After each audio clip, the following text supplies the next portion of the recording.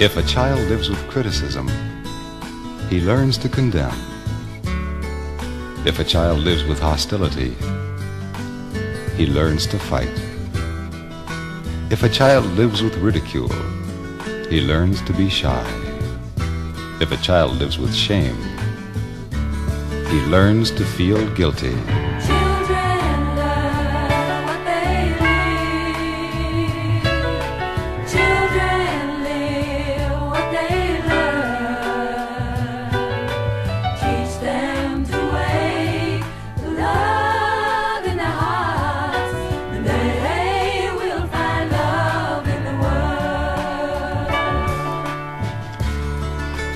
If a child lives with tolerance, he learns to be patient. If a child lives with encouragement, he learns confidence.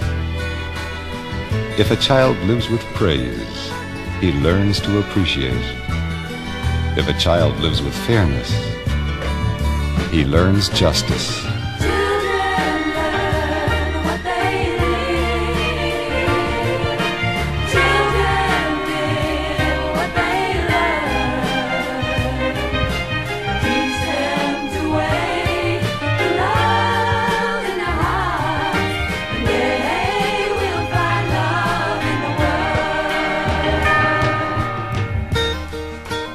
If a child lives with security, he learns to have faith.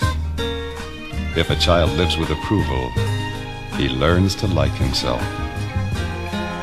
If a child lives with acceptance and friendship, he learns to find love in the world.